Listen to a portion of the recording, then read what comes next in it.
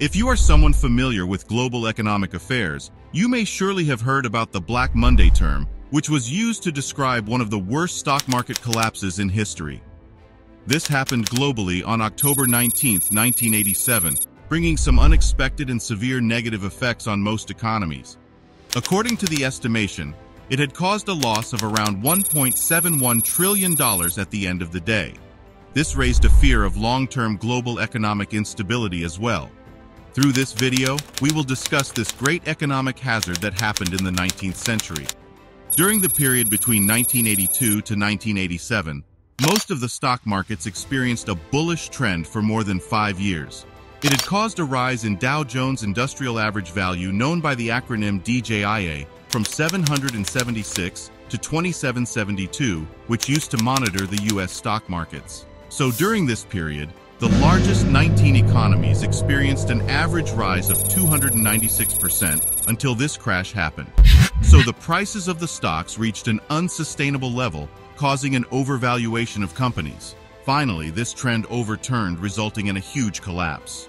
Investors' psychology made a considerable effect on the decline experienced on Black Monday. When there was immense selling pressure on the market, investors got panicked easily and went directly to selling decisions without analyzing the behavior of the market. The increasing use of computerized trading systems, specifically program trading, played a significant role in the crash. Program trading involves the use of complex algorithms and computer programs to execute large-scale trades automatically. On Black Monday, many institutional investors and traders had programmed their computers to sell stocks automatically when certain conditions were met. As the market began to decline, these computer-driven selling programs were triggered, exacerbating the downward spiral and causing a cascade of selling orders. There were some international economic factors which led to the creation of a sense of uncertainty in the financial market and also led to this huge crash. Some of these factors were ongoing trade imbalance between countries, increasing tension between the US and Iran, and devaluation of the US dollar, which resulted in uneasiness in the financial markets, opening the doors for the collapse that happened on Black Monday. When the market was under a huge selling pressure, there were not enough investors to step in and buy those stocks at falling prices. This clearly depicted the lack of liquidity in the market which worsened the situation and intensified the selling pressure.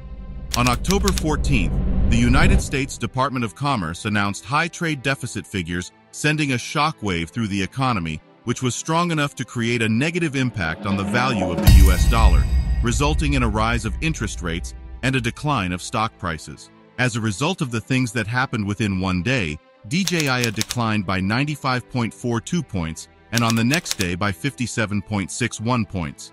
On the third day, it was reduced further by 108.35 points, initiating a selling trend in the stock market.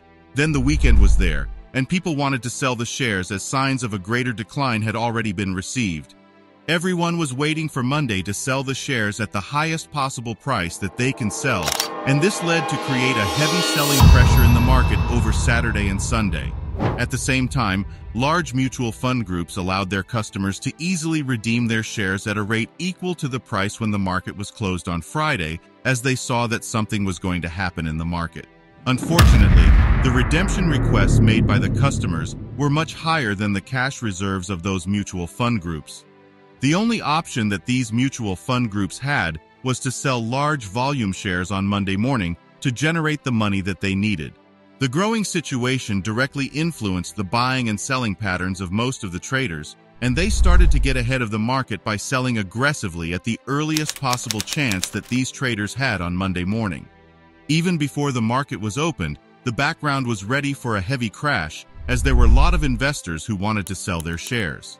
This created downward pressure on prices, leading to the crash of the market.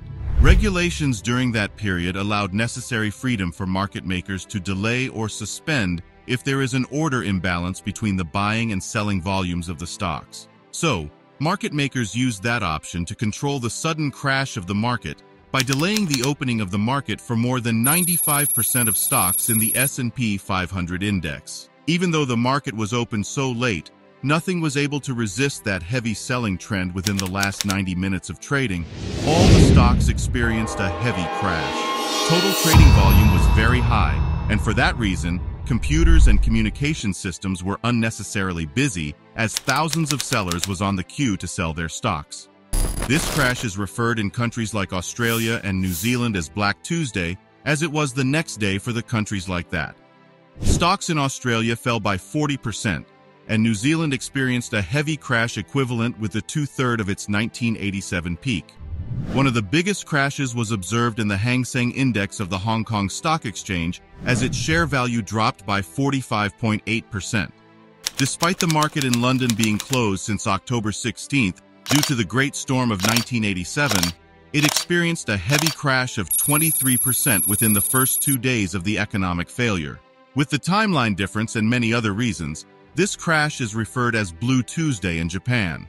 However, its market decline was relatively low compared to other major economies, recording a 14% decline. With the experience that market makers got from this heavy crash, the circuit breaker rule was introduced as a measure to avoid the happening of such a sudden crash in the future.